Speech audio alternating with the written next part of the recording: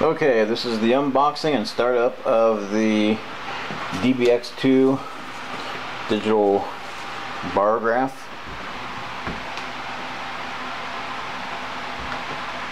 And uh, get a couple items out of the road and do this. We got this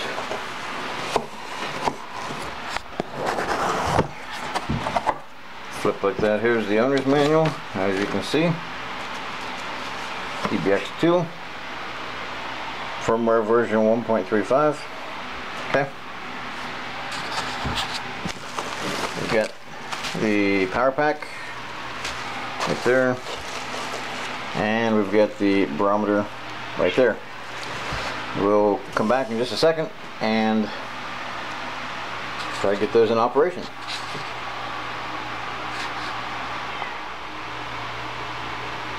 Okay, so what we're going to do now, first off, is get the power pack out of the package right here. And we'll put that over here. We do have a dedicated extension cord for that. And then we'll get the barometer itself out of the package. We'll set this down here.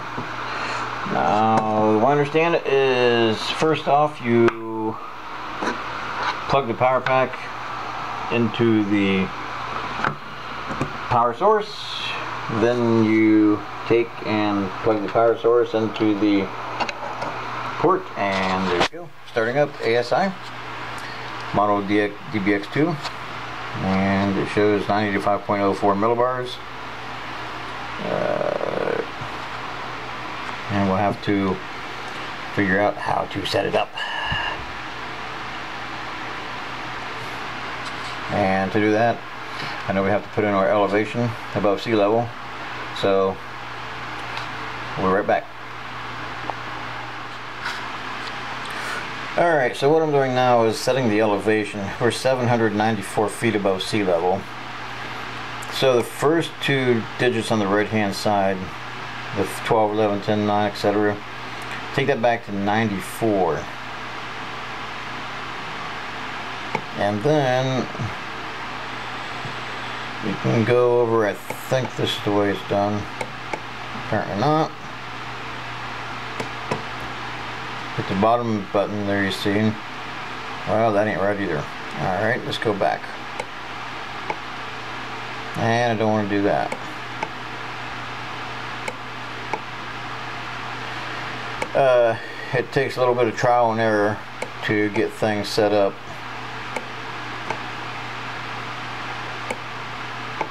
You have to hold the second button down until it says change display at the bottom of the display. Um,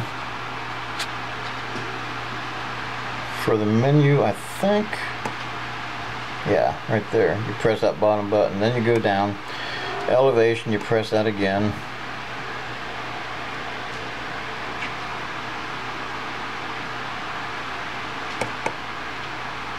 Oh, you press one of them. Which one is it?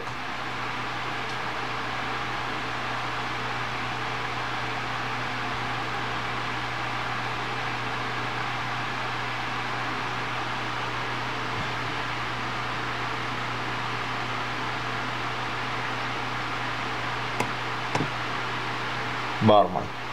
Okay, so we're back to square one. We did not get it set. So let's go to 94.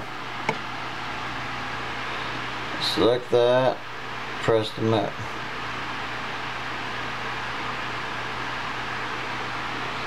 Well, that doesn't make any sense.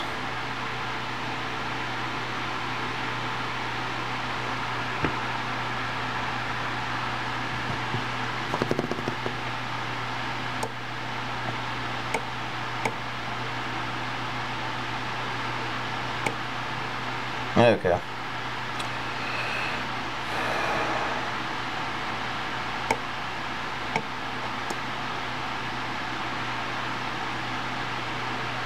There you go. Oh, wrong one. There you go. Then you press this button down here at the bottom. And that sets it. And there you have 794 feet above sea level.